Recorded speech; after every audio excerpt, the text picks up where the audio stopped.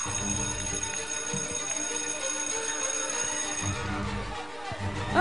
guys, let's all give a warm welcome to the man of the hour, the newest member of the Party Pilipinas family, and definitely the guy na dapat niyong abangan sa mga susunod na araw. Benjamin Alves. Hi Benjamin, welcome to the Kapuso Network and of course ang nag-direct ng music video na napanood nating lahat with Miss Kylie Padilla ay si Direct Mark Reyes. Direct Mark. At kasama ni Benjamin dun sa prod na yan was of course Julianne and Kyla. Napakagandang prod. Welcome to Party Pilipinas, Benjamin.